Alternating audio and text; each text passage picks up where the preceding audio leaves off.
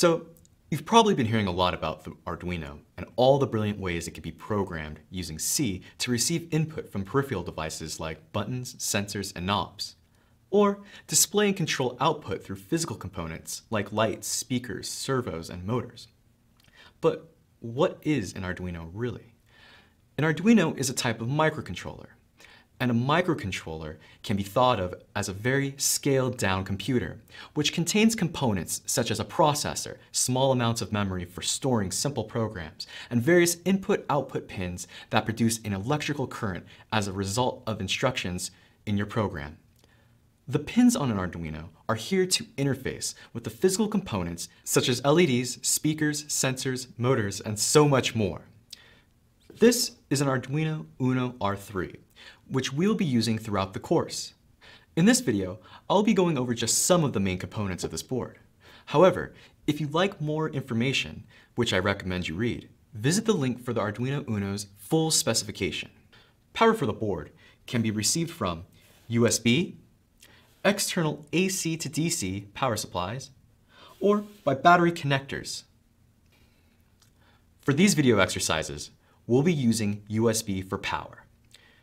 If you are interested in other ways to provide power to your Arduino board or want to know more about the power pins, please refer to the power section of the specification link provided. Next, there are two main pin sections on an Arduino that we will use to provide voltage to our components digital pins, and analog input pins. Before we go any further, let's understand these two terms. Analog input pins are for components such as knobs, which create analog signals. A knob can provide different amounts of resistance to voltage between the two pins that it's connected to. Take, for example, a light dimmer. As the knob is twisted in one direction, the light will become brighter because the resistance lessens. This provides a stronger electrical current to the component which results in a brighter light. Now, the digital pins are slightly different in that they produce a digital signal that is dependent on the amount of voltage across the pins. Digital signals for the Arduino are either on at 5 volts or grounded, meaning off, or 0 volts. Take, for example, a light switch. A light switch has two values, on and off. When you turn the light on using the switch, you're providing full power to that light.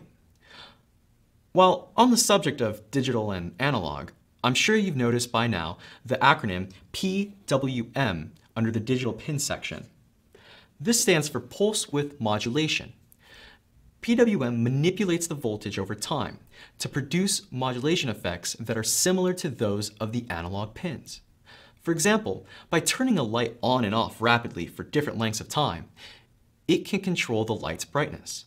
So you might be asking yourself, if all you have to do is provide some voltage to some component for it to work, why even have a microcontroller? Well, let's take a high-level look at a microcontroller that we may interact with daily, the alarm clock. The alarm clock has many inputs, for example, buttons, which are used to interact with the alarm clock program. It also has outputs, which are light-emitting circuits called seven-segment displays that show the time. This is all controlled by a program that is contained in the microcontroller's memory. Now, let's take a look at a scenario and see if we can replicate the alarm clock with this Arduino. You're ready to go to sleep, but you'll need to set your alarm to wake up. We know that by using some buttons. We can set some variable, time that gives the program a condition it must meet, such as when this time is true, the program should send a signal to another pin that is connected to a speaker. And when this signal is received by the speaker, it should play an awful sound. Let's use this simple circuit to give you some context to what I'm talking about. So now that your alarm is set, your condition is now stored in the program's memory. And after only 9 seconds of sleep, you hear the awful alarm sounding away. I'm gonna go ahead and plug in our alarm here.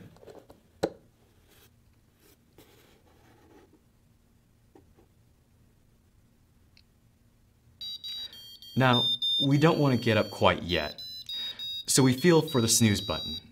We let the sleeping student halt or interrupt this awful alarm sound by just hitting that button. But what really happens when the microcontroller's program receives a signal from the snooze button?